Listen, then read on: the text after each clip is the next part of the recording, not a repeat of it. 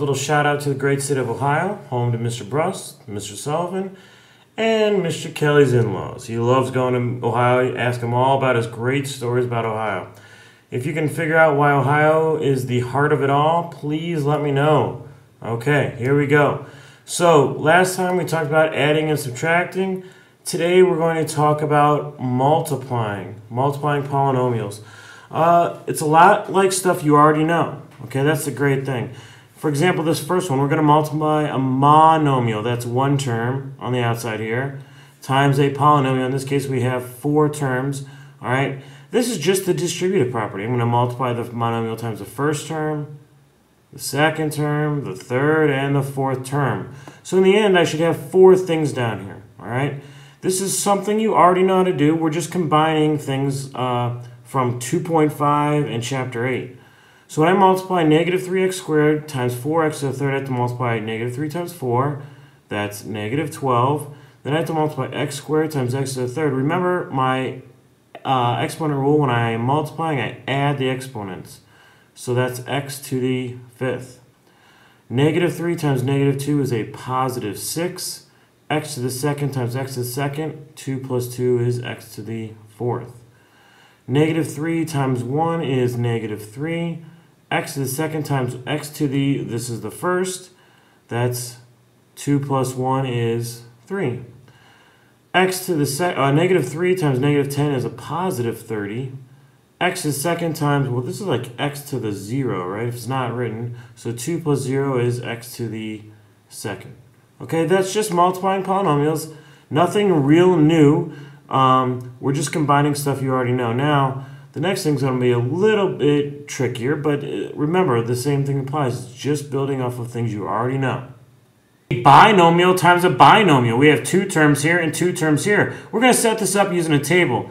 Look here, we have this table, all right? We have two terms, so I'm going to write my first two terms down here. So 2x and minus 1 for the negative 1. Then up here, 4x and 2. Now, it's important that you write them in order, you know, standard form 2x, top, down, 4x, and 2. Now, I'm going to take this and I'm going to multiply everything up here in the relative box. So in this box, it would meet here and here. So 2x times 4x, 2 times 4 is 8. x times x is x squared. This would be 2x times 2. So 2x times 2 is 4x. Over here we have negative 1 times 4x, so that's negative 4x.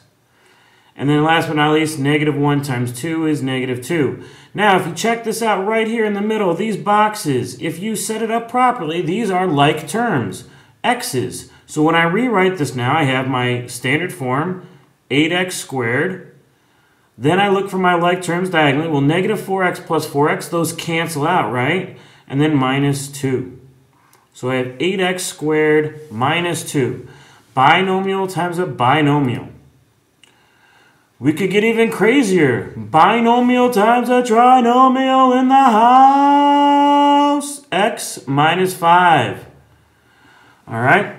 Up here, 3x squared minus 2x plus 4.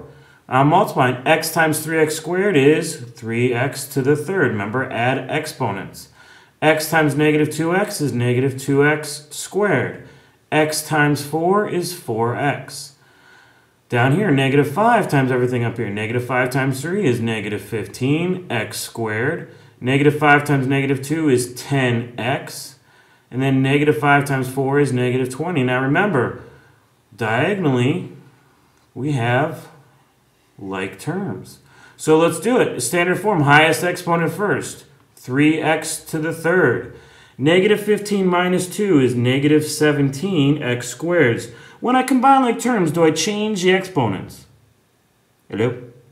Hello? I'm talking to you. No, I don't change the exponent. I keep it. So 10x plus 4x is 14x. And then minus 20.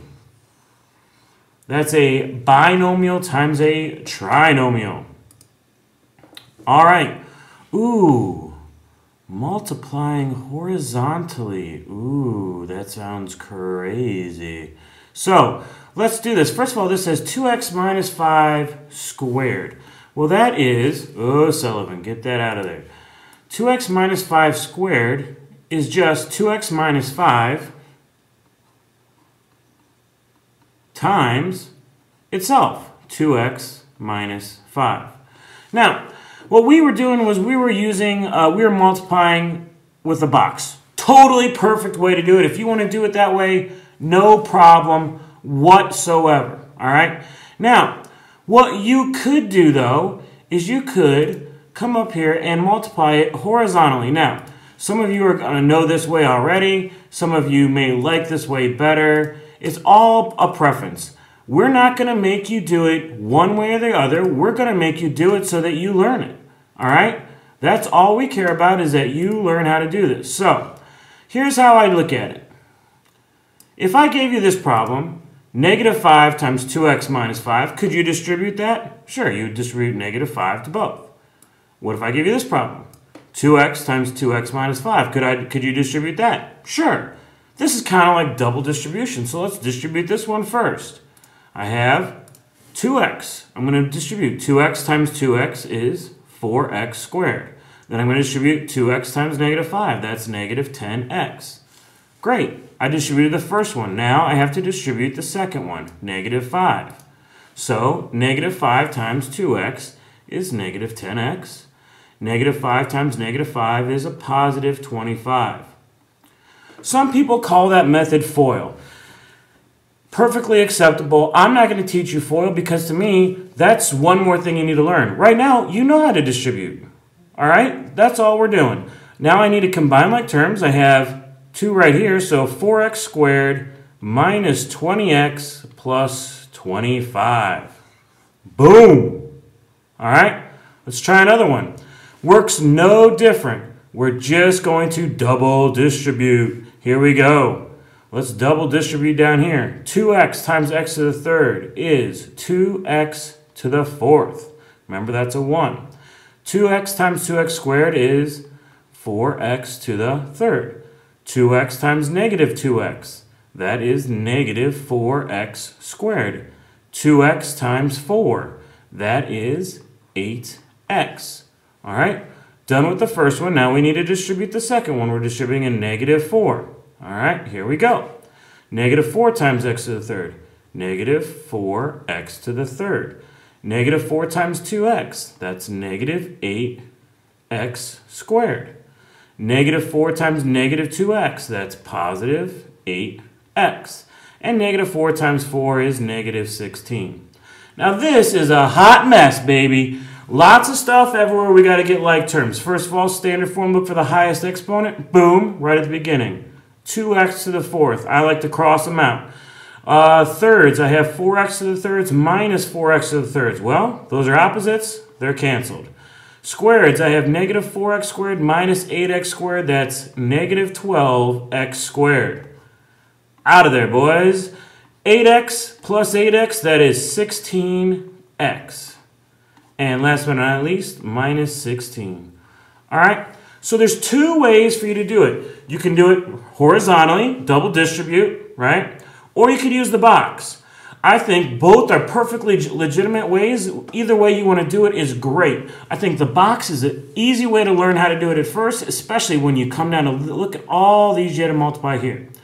All right, so I want you to pause the video and try these. You, you didn't pause the video, did you?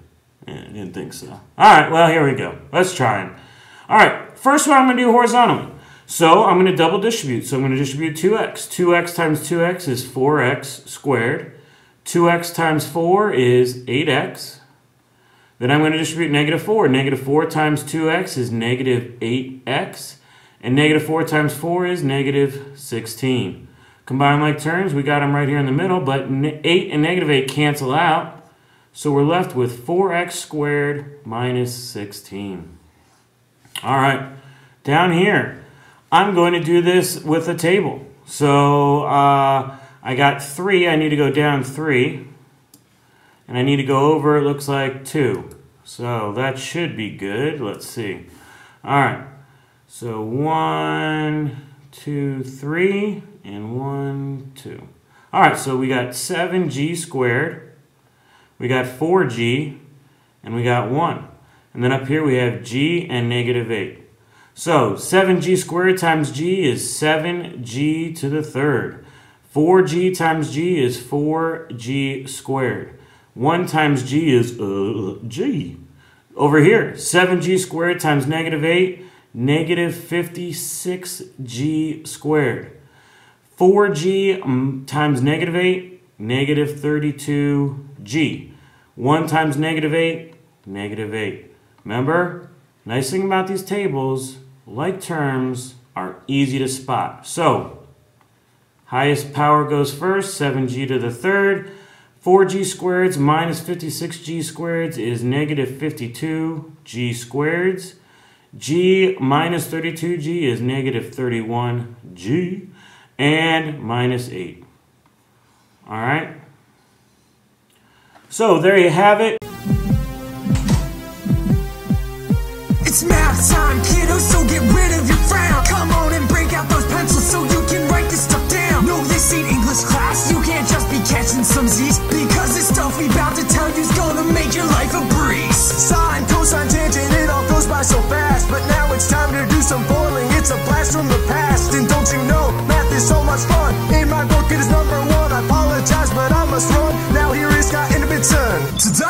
Today's